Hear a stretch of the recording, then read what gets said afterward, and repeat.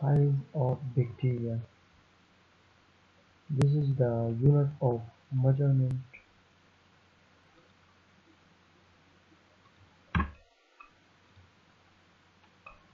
micro and micrometer. 1 micrometer is equal to 10 to 3 millimeter. Uh, size various and with uh, kinds of bacteria and also related of their age and external one. Bacteria are in many shapes. They are divided into different shapes uh, such as uh, coccus, rod, and spiral. These are the three types of bacteria on the basis of uh, shape. This is the Diplococcus 2 bacteria, uh, Diplomin 2 coccus are the bacteria round shape coccus bacteria or the round shape like structure.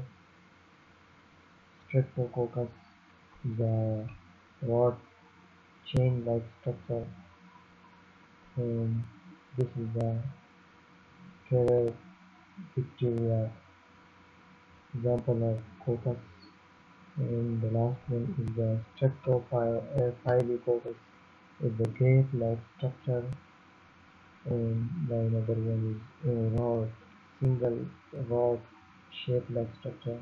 And this is the diplobacillus this is the two phase rod shape like structure bacteria Strep, uh, streptobacillus is the chain for rod shape uh, like structure bacteria and uh, and uh, last one is the coccus bacillus is the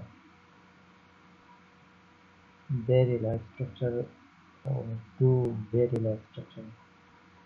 Spiral, the vibrio and sparrow sheep also long vibrio structure. This is the vibrio comma shape like structure, the beam, uh, beam like structure. This is the table of bacteria on the basis of structure. The microscope application human eye uh, can see this. Mm, measure and this is the light microscope magnification. This is the recon microscope magnification you can see as well so cocaine and span is a 1 micrometer in long and bacillus rod is 0.5 to 1 micrometer uh, with wide in 3 micrometer in length. Sterile bacteria is 1 to 3 micrometer in length and 0.3 to 0.6 micrometer in wide. Structure of bacteria Essential structure of bacteria is L1 cytoplasm, cell membrane, nuclear membrane, and we will discuss all of these one by one in the other lecture. Particular structure is capsule, flagella, pili, spores. These four can cause infections in living bodies. Gram stain. Christian Gram first publication for the Gram stain method. I would like to testify that I have found the Gram method to be one of the best for many cases the best method which I have ever used for staining my quota. The Christian Gram published the Gram stain method that we can uh, find that these uh, bacteria or these bacteria have cell wall and are not. This is the two bacteria which have cell wall and another have no cell wall. Gram staining, gram positive and gram negative bacteria. Gram positive bacteria have peptidoglycan and and then cell membrane, and then cytoplasm. And the negative bacteria have outer membrane and then peptidoglycan, and this is a periplasmic space in the outer membrane in the peptidoglycan, and also in the peptidoglycan in the cell membrane, the periplasmic space.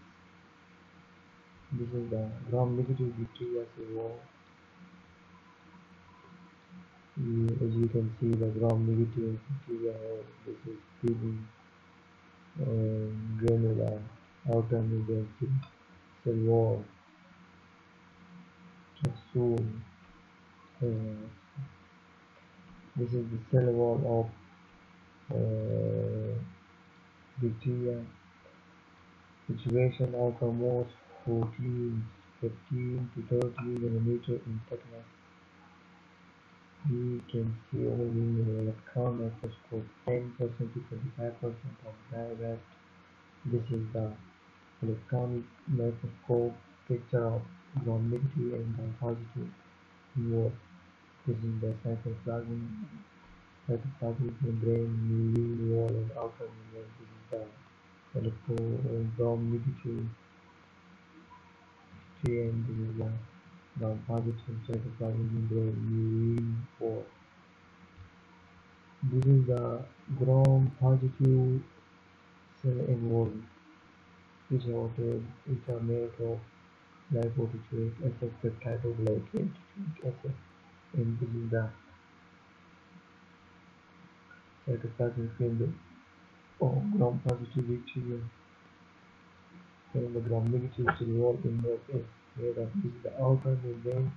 Outer membrane have forms lipopolysaccharide with small pores and and this is the whole map of proteins, peptidoglycan, beta, NF, cytoplasmic membrane, etc. Then we will discuss another cell membrane, cytoplasm, and nuclear membrane in the lecture of